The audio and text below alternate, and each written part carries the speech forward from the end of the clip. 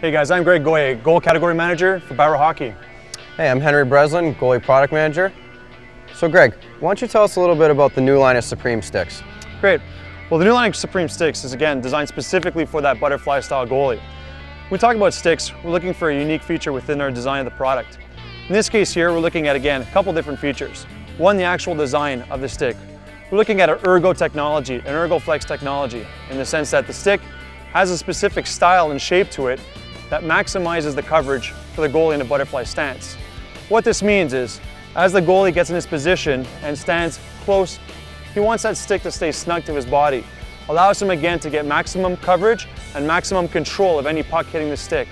The new Supreme sticks also incorporate a new material called the Negra fiber.